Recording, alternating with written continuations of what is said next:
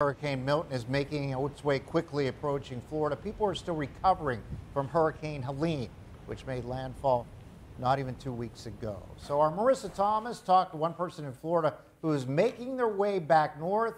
Marissa, what did you learn tonight? Good evening, Mike. Amy Schroeder went down to Florida a few days ago for work. Now is driving back north. She says she has a senses a sense of anxiety as people prepare for Hurricane Milton while still in recovery mode from Helene. Hurricane Milton speeds toward the coast of Florida.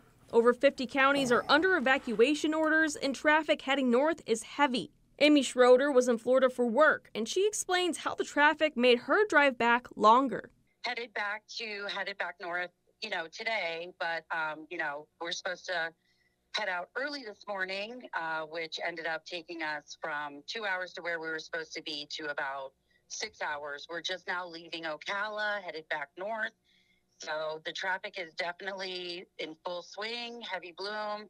Um, 75, 95 are both horrible. Schroeder says getting gas is an obstacle from finding it to waiting for it. Grocery stores are unbelievable, gas stations.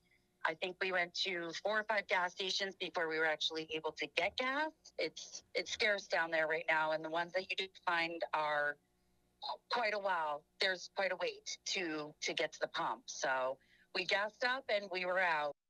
Schroeder says she felt that people were frantic as they prepared while still dealing with the damage left behind by Helene. They, uh, I think there is a little bit of panic down there, but um, I just hope everybody does the right thing and stays safe, you know?